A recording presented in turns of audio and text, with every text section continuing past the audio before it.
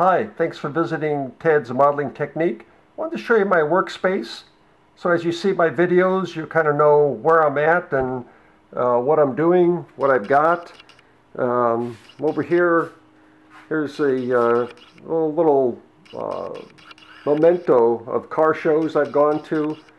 and um, over the years, uh, actually here's my uh, my last uh, car I, I, built up, 34 Ford Cabriolet, and uh, you know, kind of kind of miss not having it. It was fun working on it, always fun driving it around, fun going to all these shows. You know, it's uh, gives me good experience. Uh, I try to use the uh, real car experience. There's the interior shot. Real car experience and and pass that on into model building making it uh, realistic and uh, coming up with ways to build a model that I would actually work on a car. Um, there's a uh, drill stand, use it for modeling as well as uh, working on cars. Real car stuff down here is a welder, uh, jack stands, hydraulic jacks, more tools and whatnot. Got plenty of space in here. Um, well, here's a little Le Mans uh, die cast that I just pulled out recently. I just love the looks of this thing. It's so uh, uh, almost aeronautical in uh, design and uh, airflow and whatnot. It's the uh, 2009 winner of, of, Le Mans.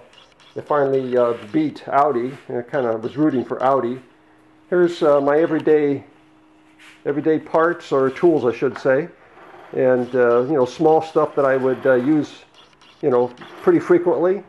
Um, some individual aluminum tubing samples and whatnot, and I've got more in storage. And uh, actual workspace here.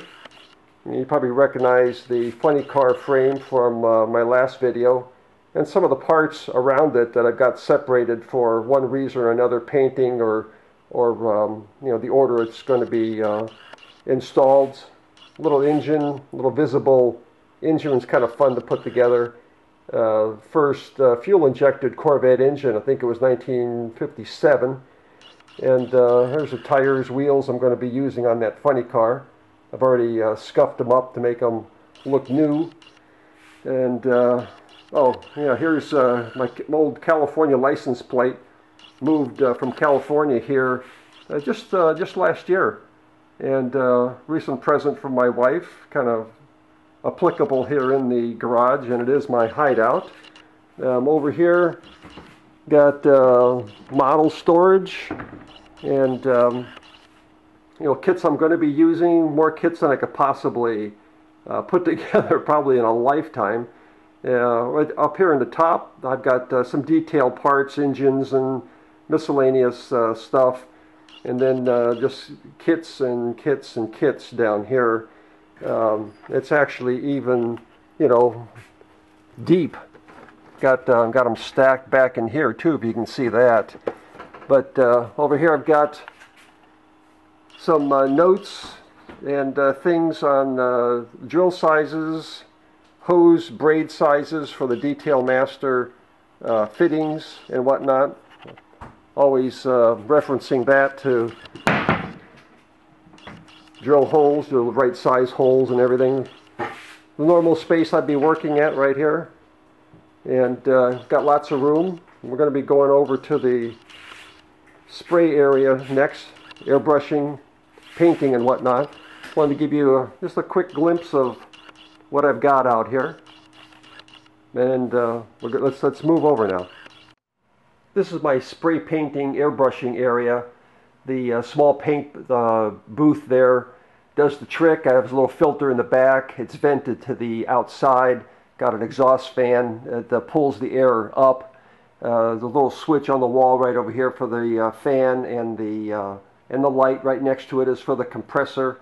Air compressor down here for my Paasche airbrush. I typically use a number three tip on the airbrush. The uh, shelf down below has all the bottled paints and cleaners, some uh, cans of primer, whatnot. Uh, this is just the paint spraying area. The bottled paints and the uh, brushes are in a different area altogether. Uh, some spare empty bottles over here used for running uh, cleaner through the uh, airbrush when I'm done. Uh, small area, but it's out of the way. It's clean, well ventilated, and um, it's it turns out to be quite a nice place. A few other things might be worth pointing out. The glues I typically use, uh, that Zap Medium is uh, one I, I kind of like. It seems like it's the right thickness or viscosity for me. Uh, Plasta uh, Weld is another one for uh, bare plastic, and of course uh, my kicker. And I love these um, applicators with the needle tips because you know some of the stuff that's really runny, you can control it. You know the kicker you can have just a drop if you want. Um, I really like that. over here the typical drill index uh, that is, you know, probably on everybody's uh, workbench. Um, I keep that here because I use them in a pin vise quite a bit. And then besides that, I also have uh, drills over here that go from a uh, 60 to a half inch. So, um, yeah, quite, a, quite an assortment. And uh, I guess while I'm over here, those shiny uh, silver bits right in the center, those are plastic drill bits and a good variety there. Really sharp tip to uh, uh, drill easily through uh, plastic without cracking it. A couple of other things I wanted to mention. Um, I bought this uh, pre-assembled, pre-wired, uh, actually it's a Boss uh, 429 Ford with dual carbs. And, you know, didn't really know what to expect. Matter of fact, I don't even know who makes it now. I found this little brochure that has all the engines, but there's nobody's name on it, so I kind of forgot. Um, anyway, uh, what I, I do like about this, I haven't used it yet, is the little stand that it comes on. It's ideal for, uh, you know, just placing my engine on it while I'm, uh, while I'm working on it. Of course, you can flip it over and whatnot too, but the little stand is really handy. I don't know if you can see it there, but it has little bitty wheels on it. They're kind of like uh, the stand on this uh, little engine that I built too, this Revell uh, 280, no, yeah, 283 fuel injection. Uh, something I'm going to be talking about here a little bit later.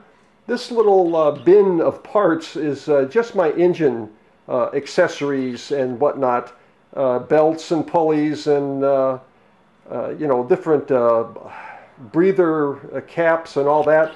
Now the only other thing that's in here that doesn't have to do with um, the engine is these chassis and uh, made by, um, oh gosh, now I'm drawing a blank here. Oh, Curbside uh, Dioramics. And uh, I don't think they're in business anymore. Uh, they're really difficult to get, and I've got uh, different types of chassis. They come with uh, independent front suspensions, straight axle, really detailed, and the whole thing is, um, matter of fact, I've got one here kind of broken down. The whole thing is, know if I can get the glare off of that. There you go. Uh, it's all die cast. So uh, what I plan on doing is uh, using it in uh, you know more of a street rod and uh, uh, polishing it up. I, I, practice with it and it polishes up really nice. It's got the like a Mustang 2 front suspension and whatnot. So um, that's going to be coming up a little bit later. And I really love these. I can't live without it in order to get in there and see the detail that I like to see, I want it to be realistic. I want it to look like a real car. And uh, if you can't get in there and see it, you can't put it in. Um, so, I, you know, I can't live without them. I love them.